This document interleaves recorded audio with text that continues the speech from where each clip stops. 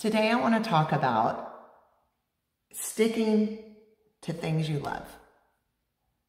Okay, I know that just is, it just sounds kind of weird as a title. I mean, we're in a weight loss clinic and I'm talking about love. Is your heart happy with where you are in your life? Are you feeling like what you're doing with your day to day life is what you should be doing?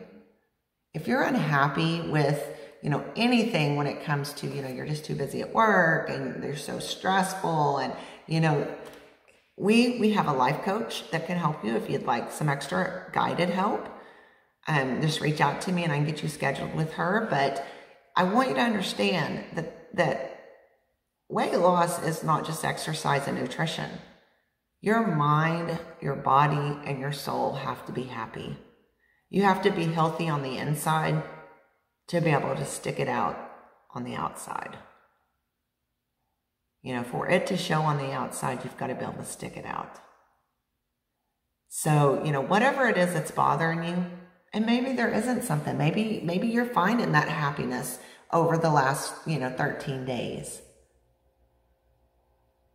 Is it 13 days? Yes, 13 days. I had to, I double check that.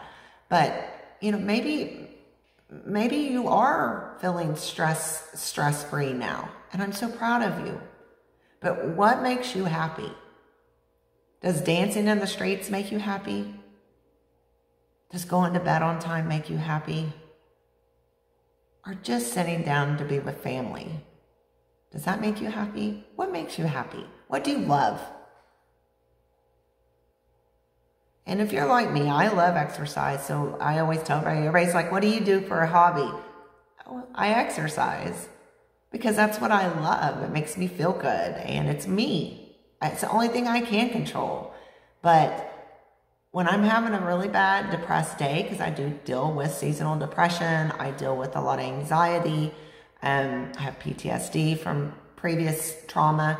And, you know, that's the way I deal with it is exercise, and and just doing motivational positive things that make me smile.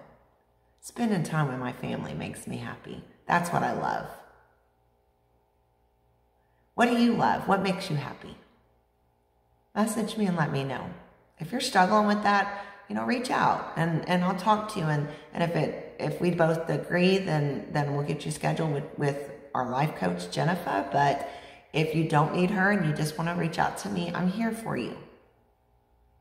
I'm here for you.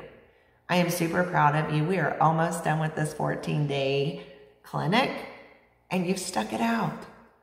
That makes me happy too. I love it. I'm super proud of you.